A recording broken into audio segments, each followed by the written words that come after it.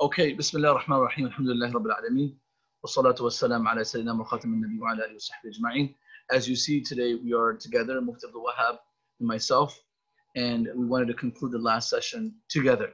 Uh, part of it is I can uh, share the challenge of Arabic learning with my brother, and um, we're going to go back to Fele Mudare. I had given some assignments to them yesterday, and uh, Mufti Abdul Wahab did the Nahwa part of it. I honestly think teaching Nahwa is easier than Sarf. Is that true, Mufti Saab? Well, I think both they're both challenging. They're both challenging. I think you're just a better teacher. No, no, no. They're both challenging. Sarf is very hard because there's a lot of memorizing. No, right. What did they say, Mufti Saab, that for, for Nahwa, you need a mind of a king, mm-hmm. and for Sarf, you need a tongue of a dog? Oh, really? Yeah. Um, just need to, like, you know, just keep on. Keep repeating. Keep on repeating. Hua, huma, hum, hiya, huma, hunna, anta, antum, antum, anti, antum, antunna, ana, nahnu. Ah.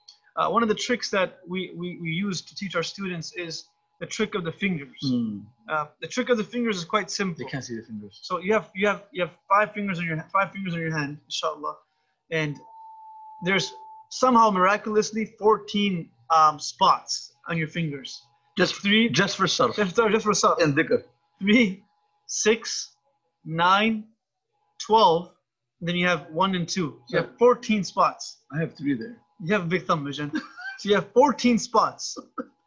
These six are film. Uh, these six are third person. The second six are second person, and this last, the thumb, is first person. So whenever you hear a sigha, try to find out where where it belongs in your fingers. So for example, the next one is la'iba, la'iba. So starting from the top, la'iba, la'iba. It's number two.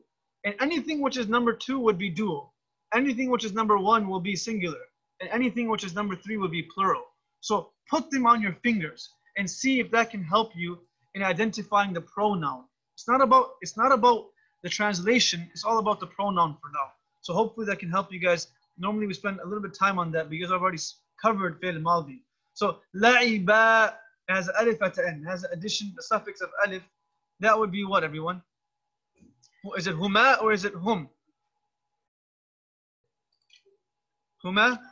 Yeah, Awesome, mashallah. mashallah, excellent. mashallah.